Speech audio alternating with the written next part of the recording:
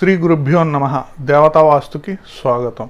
ఎవరైనా ఆర్థికంగా కానీ ఆరోగ్యపరంగా కానీ హై టార్గెట్స్ పెట్టుకుని చకచక పైకి వెళ్ళిపోవాలి అనే ఉద్దేశంతో ఉన్నవారికి మహావాస్తులో ఏదైనా రెమెడీ ఉందా అంటే దానికి తెల్లని పిరమిడ్ వుడ్లో ఉండాలి. అంటే చెక్కతో చేసింది. అది కూడా four inch by four inch పిరమిడ్ని వాడాలి.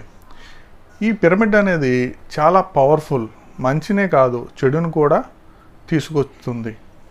సరిగ్గా వాడకపోతే.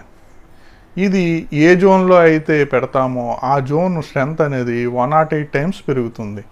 దీనిని ఉత్తరం లేదా ఉత్తర ఈశాన్యం ఈ రెండిట్లో వాడటం మంచిదే. ఇది ధనాన్ని ఆరోగ్యాన్ని తీసుకువస్తుంది.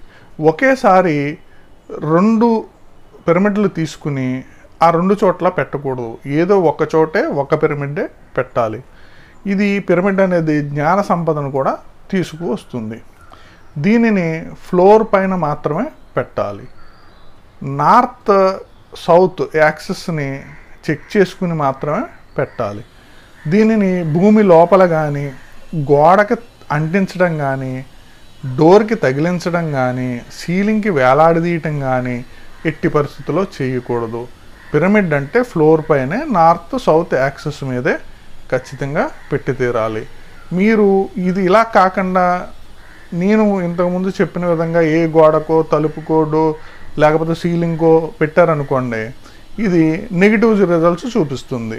ఇది చాలా ప్రమాదకరమైనది. అందుకే నేను ఎప్పుడు పిరమిడ్ని ఇంట్లో వాడటానికి రికమెండ్ చేయను.